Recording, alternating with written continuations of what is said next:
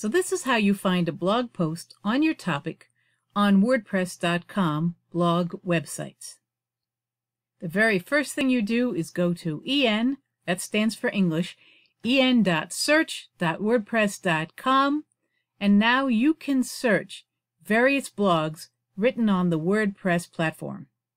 Let's say your topic is college baseball in Rhode Island. So in the search bar, you write Rhode Island college baseball. And here are the results. Let me point over to the right. There are related topics also, and you may find this very helpful as you search for blog posts about your topic. But here we find various blogs about college baseball in Rhode Island.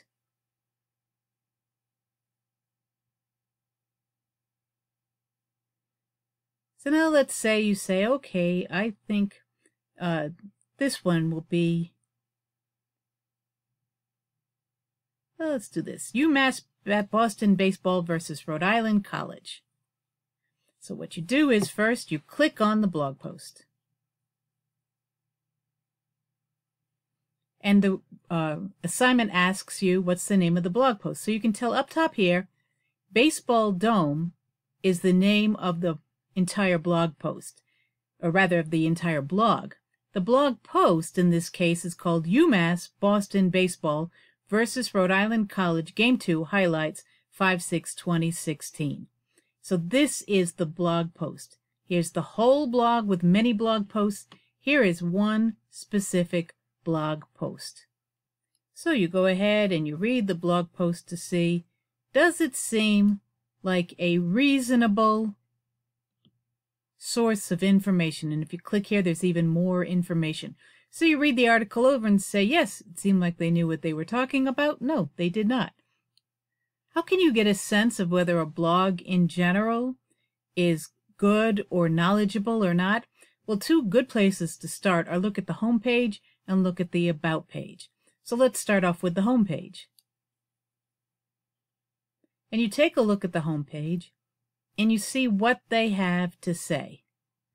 Does it seem like they have a lot of articles, a lot of blog posts about your topic? And how often do they publish?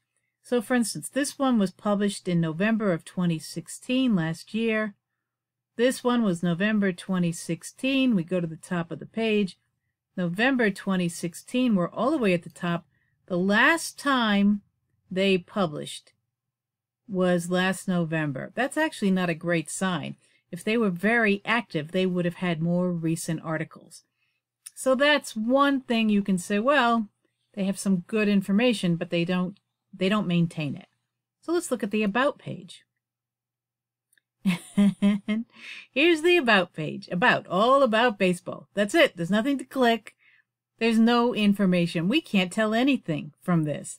So you might perhaps say with this particular blog and blog post, you might say, well, they do seem to be very interested in their topic, but I cannot say much about whether they are or are not credible because there's almost no information about them and they don't post very regularly.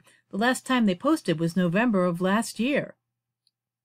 And the other part of your assignment is to give, besides the title, so the title in this case would be right here, UMass Boston Baseball versus Rhode Island College, Game 2, highlights 5-6-2016. And then you're also asked for the URL. The URL is this up here, this long stream of a web address. That's the URL.